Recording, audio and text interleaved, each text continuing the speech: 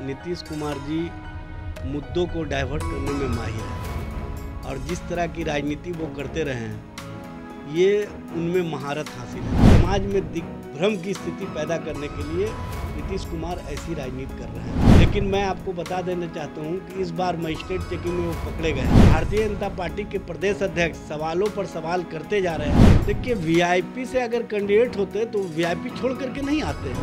VIP और Bharatiya Janata party दोनों ने अंतर्द्वंद की राजनीति शुरू कर दी। बोले भारत में आपका स्वागत है और मैं हूँ हमजा। देखिए, बिहार में एक सीट पर उपचुनाव है बोछा में और उससे ठीक पहले नीतीश कुमार राज्यसभा की बात कर लेते हैं कि सब जगह तो गया मगर राज्यसभा नहीं गया और फिर बात उठ जाती है उपराष्ट्रपति की। तो क्या, ऐसा क्या और क्यों हो रहा है कि नीतीश कुमार को ये सब बयान देने पड़ रहे हैं? हमारे साथ एजाज अहमद जी, जो राजद के प्रवक्ता हैं, मौजूद हैं। ठीक उपचुनाव से पहले राज्यसभा का याद आना ये सब क्या है? देखिए नीतीश कुमार जी मुद्दों को डाइवर्ट करने में माहिर है। हम्म, और जिस तरह की राजनीति वो करते रहे हैं हम्म, ये उनमें महारत हासिल है। हम्म, और आपको मैं बता देना चाहता हूँ मुकेश सहनी का। जिस तरह से भारतीय जनता पार्टी ने राजनीति में हाल किया है उसके बाद से भारतीय जनता पार्टी और नीतीश कुमार की किरकिरी हो रही थी। अति पिछड़ा समाज के लोग उनसे सवाल कर रहे थे। हम्म, उन सवालों से लोगों को भटकाने के लिए अच्छा। और कहीं ना कहीं समाज में दिग्भ्रम की स्थिति पैदा करने के लिए नीतीश कुमार ऐसी राजनीति कर रहे हैं।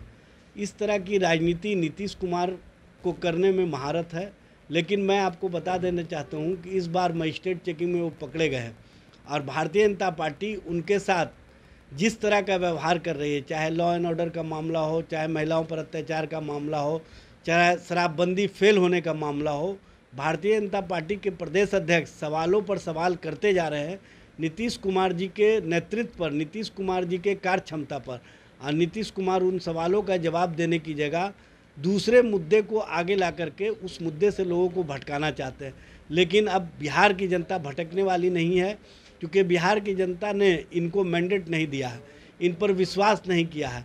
ये पिछले दरवाजे से सत्ता में आए हैं और चाहते हैं कि उसी पिछले दरवाजे से दूसरे जगह सत्ता में ट्रांसफ़र हो जाए। अच्छा ये बताइए क्या लगता है बोछा में क्या होगा?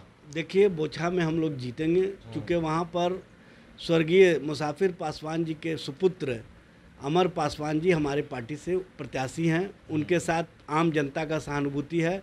आम जनता की हमदर्दी है और वहाँ की जनता जो मुसाफिर पासवान जी ने काम किया है उस काम को पूर्ण करवाने के लिए अमर वो तो पासवान जी को आगे लाना चाहिए? हैं देखिए वीआईपी से अगर कैंडिडेट होते तो वीआईपी छोड़ करके नहीं आते वीआईपी और भारतीय जनता पार्टी दोनों ने अंतर्द्वंद की राजनीति शुरू कर दी और उनको लगा कि इस तरह की स्थितियाँ जो पैदा की जा रही है कहीं ना कहीं सामाजिक न्याय की जो धारा है जिस पर लालू प्रसाद जी और मुसाफिर पासवान जी एक साथ चला करते थे उसको कमज़ोर करने की कोशिश चल रही है।